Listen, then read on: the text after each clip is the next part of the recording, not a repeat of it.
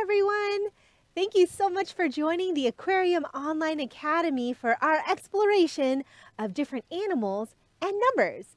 My name is Stacy. I'm coming to you from the Aquarium of the Pacific in Long Beach, California, and I hope that you're ready today to try to figure out what animals we're looking at. So what do you see behind me? Probably see a bunch of fish, right? And these fish are really, really colorful. Now we're going to try to find a lot of different animals around the aquarium and even a little bit in the ocean by looking at some videos and pictures today. And when we do that, we'll try to count them. Now, I don't think we want to try to count these ones, especially as they're moving around. That's pretty tough. But we'll do that with some other pictures and videos. Now, if you have any questions or if you want to share your thoughts, please text us. We have a text number right down here, 562 286 1838. And please remember to ask permission because data rates may apply. All right? So, I hope that you are ready for our exploration today. We're going to get it all started by watching a fun little video. And if you know the animal in that video, I want you to say what it is. Just tell the computer, tell the screen. Um, and then if you can count it, if there's enough time and you can count how many there are on that screen, please do. All right, let's get started.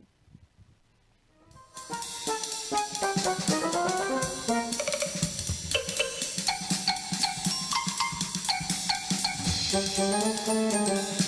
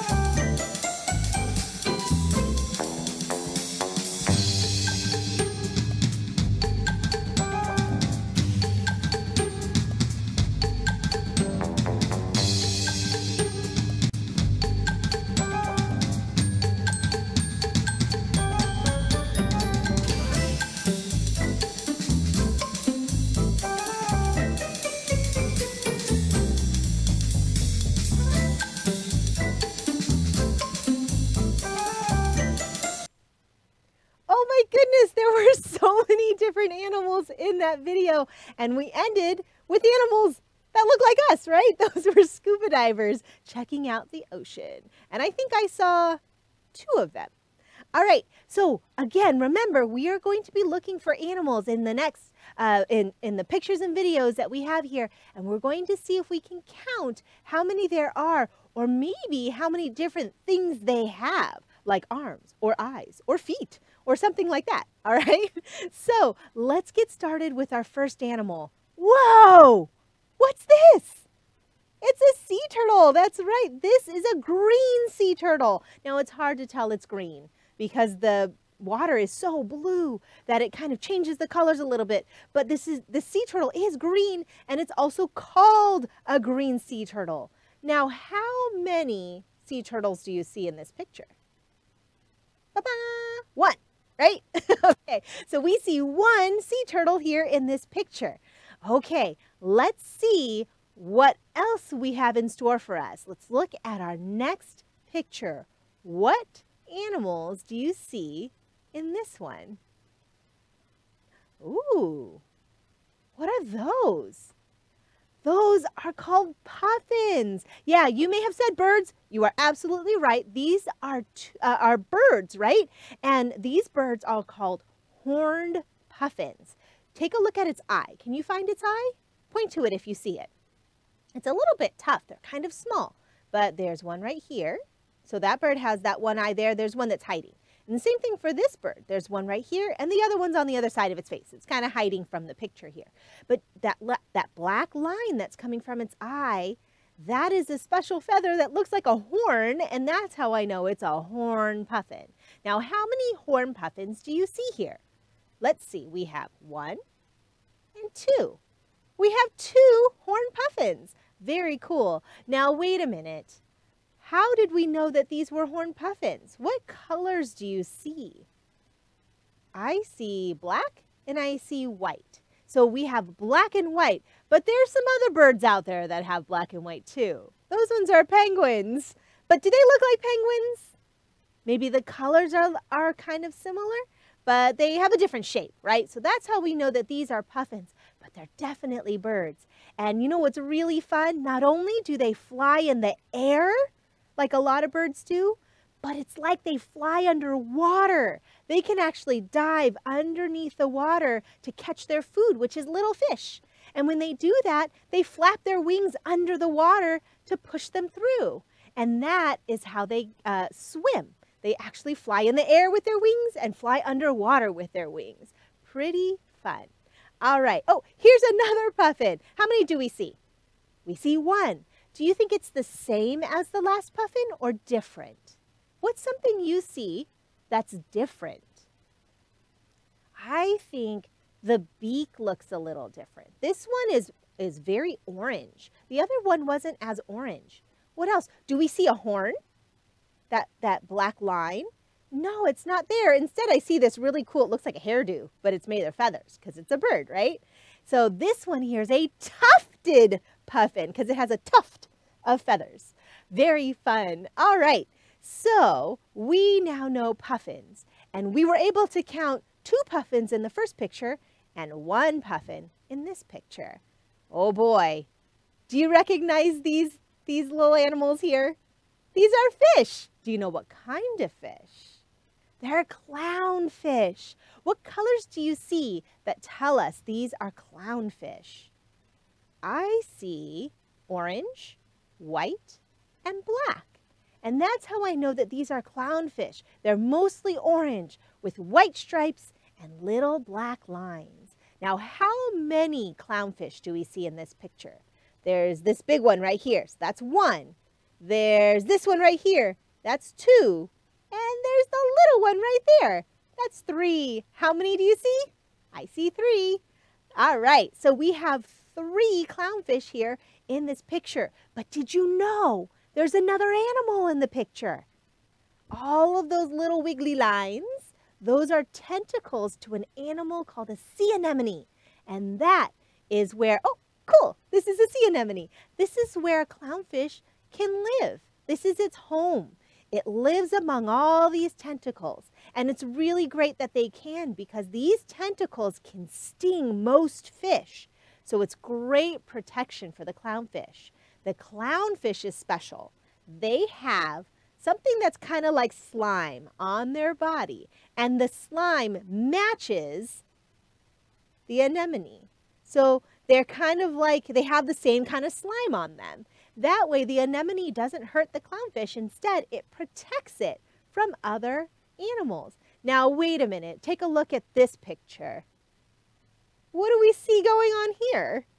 This is another anemone fish. So this is another fish that lives in sea anemones. This one's a little different. Do you see orange, white, and black? Mm-mm. What do we see? I see a white line. I see a big eye. But this is pink, right? So we know this is a little bit different than the other fish that we saw, but it still lives in a sea anemone. These are the anemone tentacles. Wow, very cool. How many fish do we see in this picture? Yeah, just one. How many eyes do we see? Ah, I just saw one. the other eye was hiding, right? So our three clownfish friends were very cool to check out the number three. Okay, let's move on to our next animals. Whoa. Let's take a look. What are these? Oh boy, I see jellies. And these jellies are called moon jellies. They're called moon jellies, I think, because it looks like a full moon.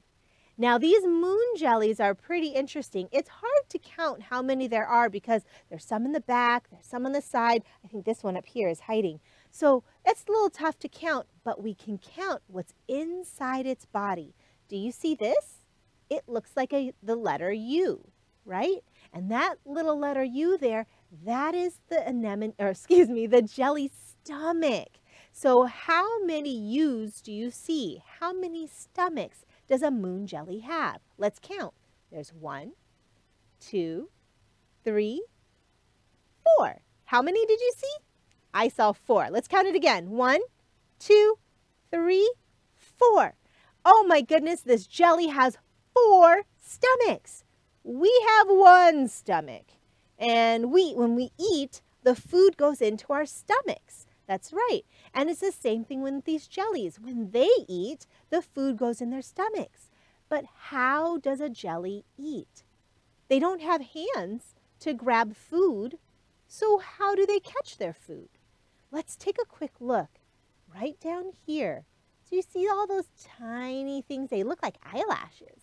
Those teeny tiny things right there, those are their tentacles. So just like when we talked about the sea anemone having tentacles that sting, jellies have the same thing. These long tentacles that look like lines that can sting. And that is how they catch their food.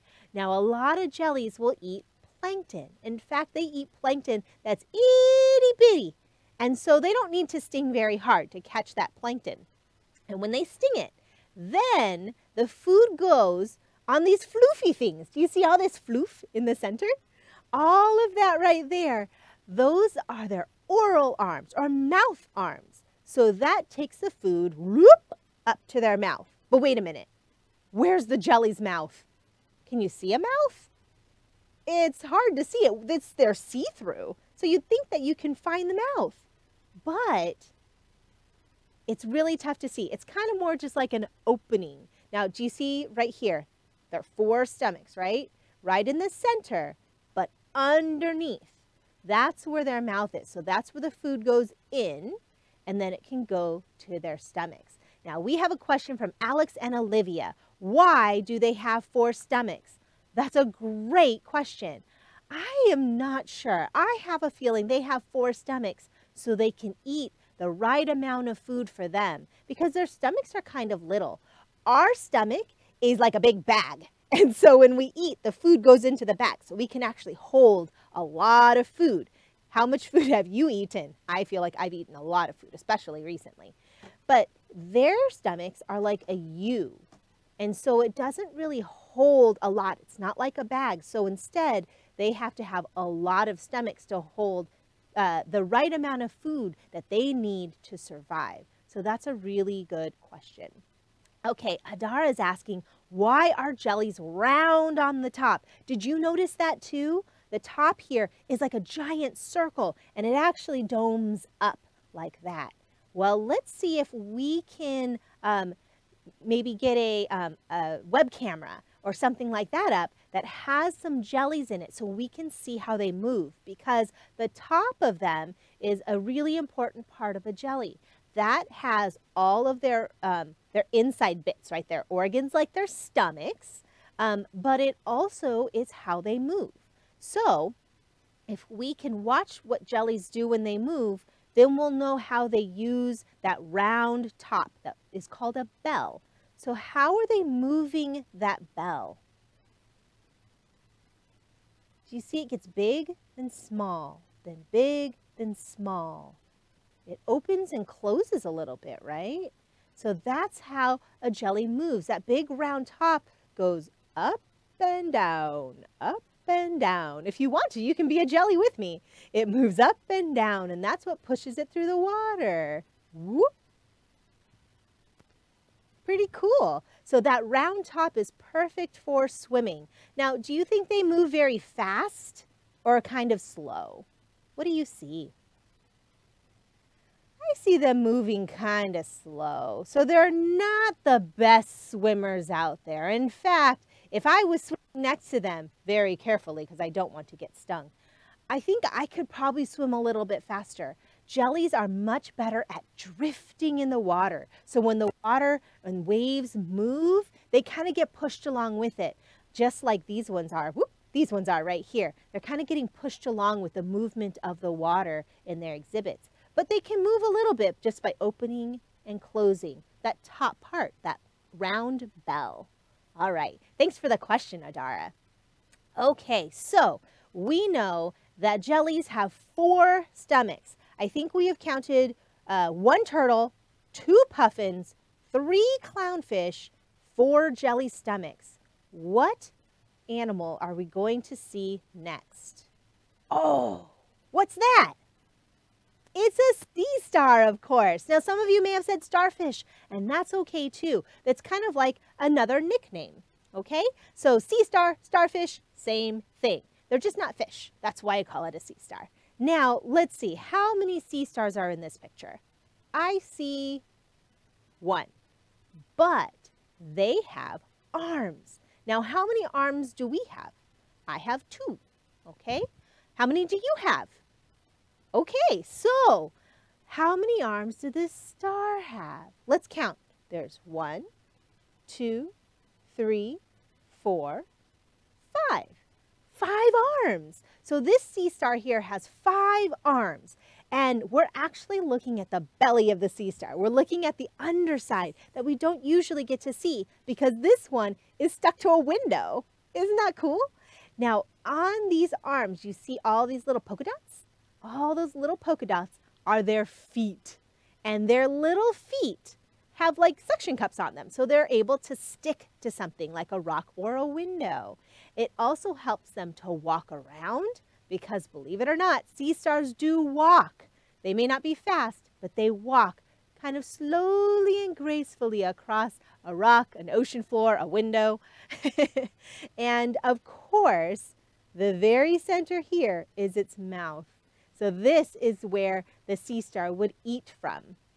Now, sea stars are kind of weird because a lot of them, instead of just sucking food into the mouth, their tummies, their stomachs come out of their mouth to kind of make their food soft. And then it gets sucked back inside. So it's almost like they have to make their food soft and smooth like a smoothie before they can actually put it inside their bodies because their bodies are a little bit on the small side. But they use their five arms to help them walk to find food and also to capture that food. Now let's see, do most stars have five arms? Let's take a look. I see a lot of stars. Actually, let's first look at how many stars we see. There's one, two, three, four, five, six, seven, eight, nine, ten. Whoa, those are the 10 stars in this picture. Now, how many arms do these stars have? This one here has one, two, three, four, five. Okay, that one has five. Let's, let's count this one. One, two, three, four, five. Oh, how about the one next to it? One, two, three, four, five. So most of these stars have five arms, right? Not all stars have five arms, but many do. It's pretty common. Okay, we have a question from Jack. Jack wants to know, how do plankton eat? Oh, Jack, well, there are so many different kinds of plankton out there. That's a tough question to answer. There are some plankton like these ones that are kind of like plants. They just need to float around and they need sunlight and they make their own food using the sunlight, just like a plant or a tree does here on land. But there are other kinds of plankton that are more like animals and they need to actually eat and they might eat things like this, okay? And they might even eat other little plankton. Now, uh, some of you may have an idea of what plankton looks like because of a cartoon that has plankton on it. It kind of looks like an oval and it has two little antennae and one eyeball.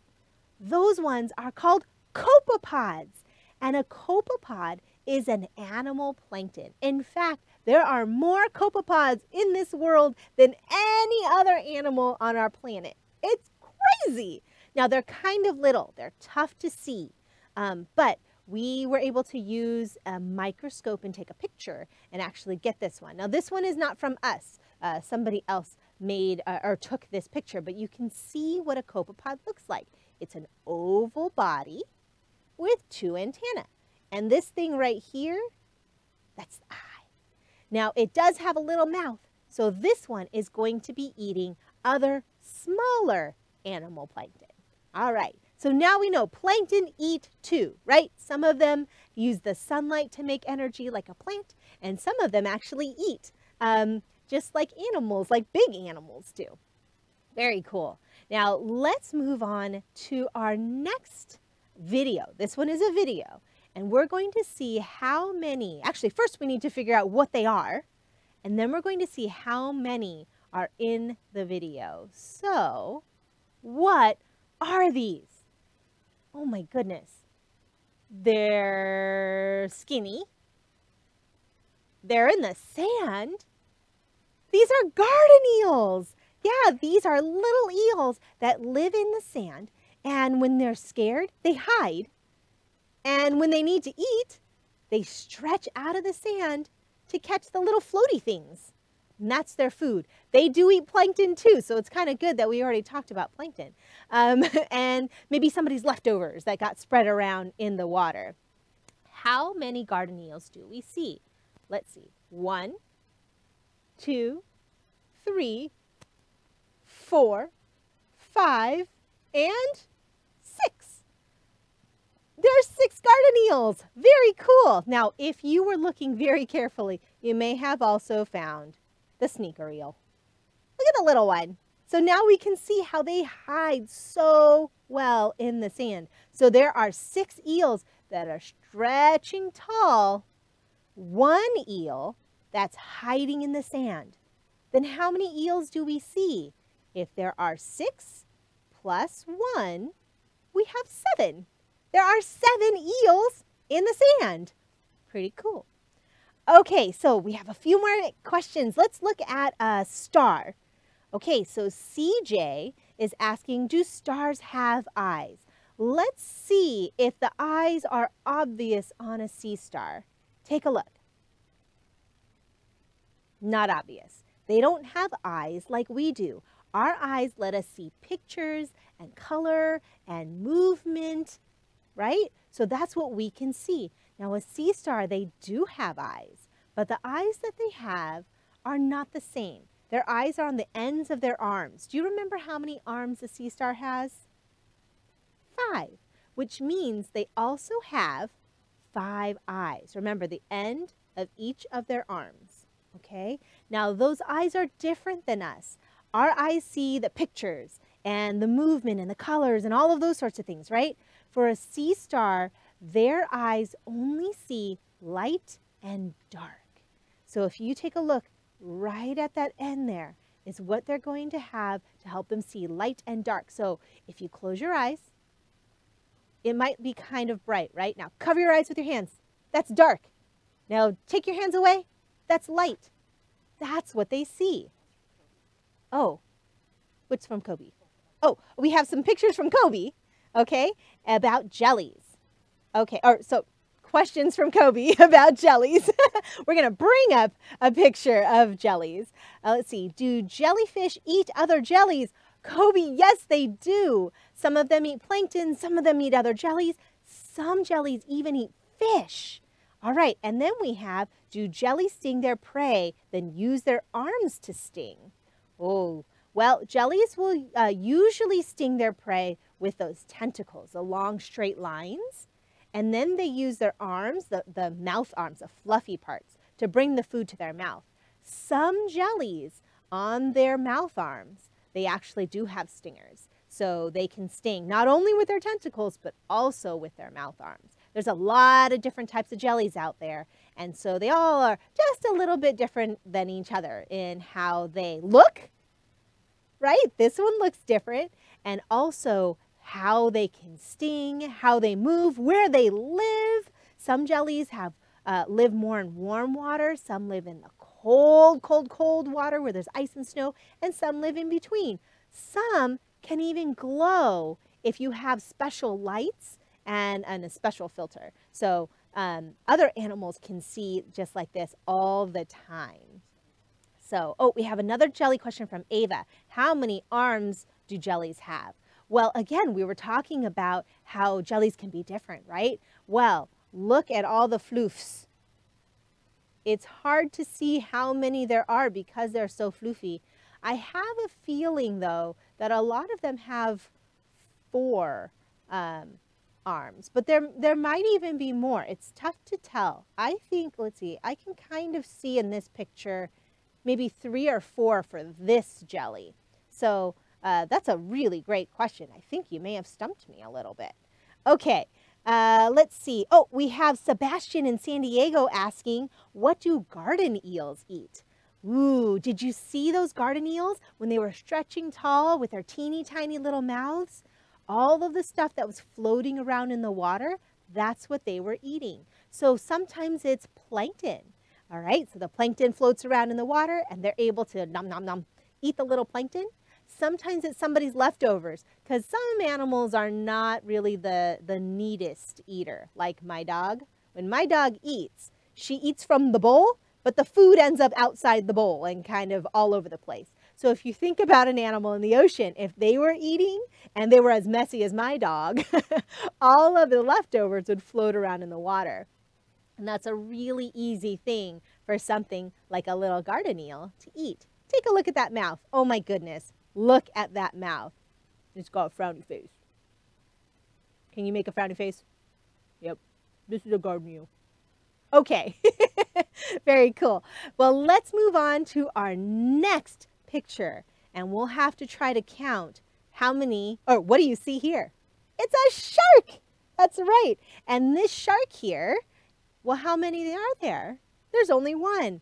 But this shark has a lot of fins. Let's see if we can count how many fins it has. One, two, three, four, five, six, seven. It has seven fins and a tail. And those seven fins and a tail are what the shark moves to push it through the water. Now, do you think they use these fins and flap them around all crazy in order to move? No. What does a shark do to move through the water? Ah, the shark uses its tail. And does the shark tail move up and down or does it move side to side? What do you think? Well, the shark tail moves side to side. And that side to side tail is what pushes it through the water. All right, so sharks are pretty cool. They have those seven fins and a tail to help them swim. All right, let's look at our next animal because we're getting real close to out of time and we have more things to count. So we're going to go from our shark here with seven fins. You may know the next, uh, the next thing that we're going to count. It's an octopus. Now, octopuses have their name because of the number of arms they have, but let's just make sure it's correct. Let's see. Let's count the arms. Let's start with this one. One, two, three, four, five, six, seven, eight. That's right. This octopus has eight arms. That's why it's called octopus. Octo is eight. So an octopus has eight arms that they use to do all kinds of fun things.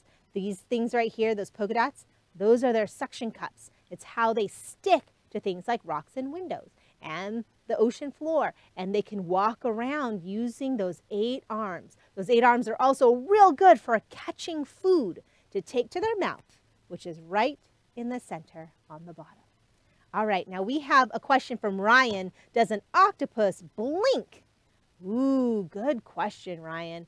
Now, I've been able to see a lot of octopuses, and it doesn't seem like they have eyelids like we do. So I think even a sleeping octopus has their eyes open. Their eyes look a little bit different than ours do, and that's why sometimes they're tough to see.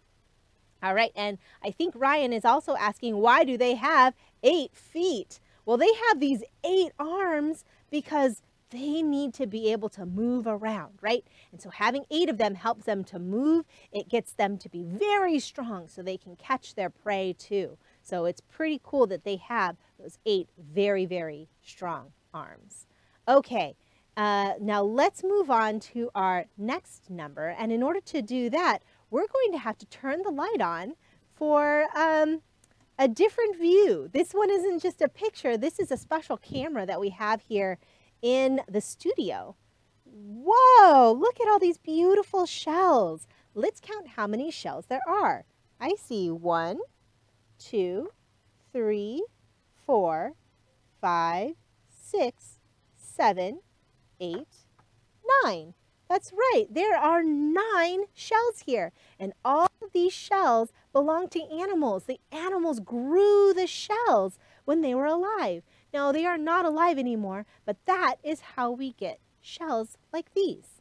Okay, now uh, let's see. I want to answer just a few more of your questions here.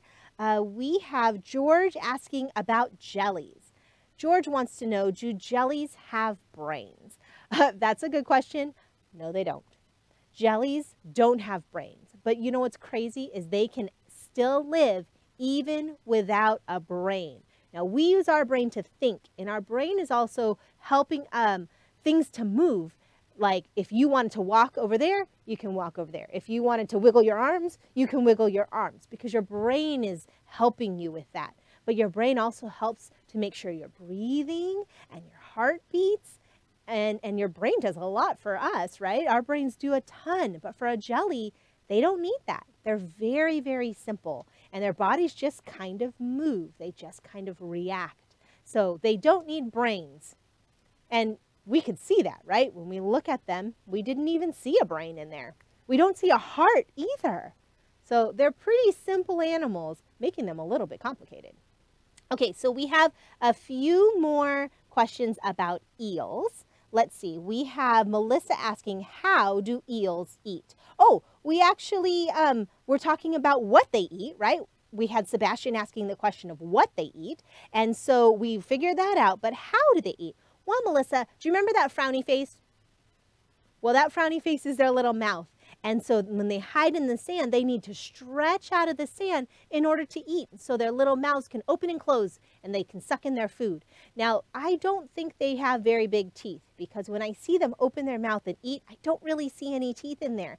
Eh, they might have just teeny, teeny, tiny teeth that help them catch that tiny food that they're eating. So nice question. Let's watch them eat again and you can see how that happens. Okay, and then we also have a question from Nina about how garden eels are born.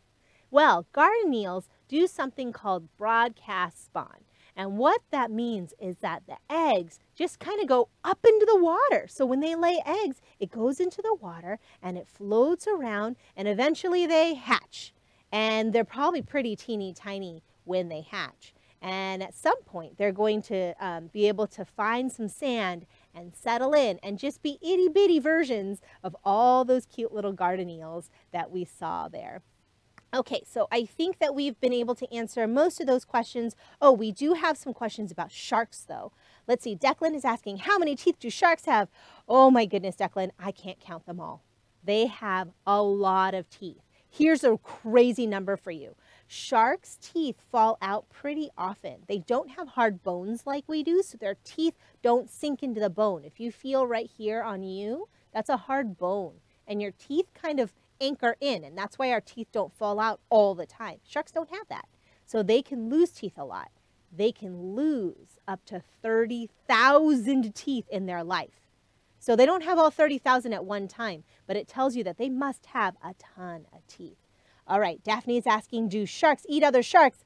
Daphne, yes. Sharks, a lot of them eat fish, and a shark is a kind of fish. So they'll eat um, fish like a tuna, but they'll also eat fish like other sharks. So a lot of times sharks are going to eat things that are smaller than themselves. Um, and so a big shark might eat a small shark. All right, and then we have, why do sharks have so many fins? All of those fins have a purpose for swimming.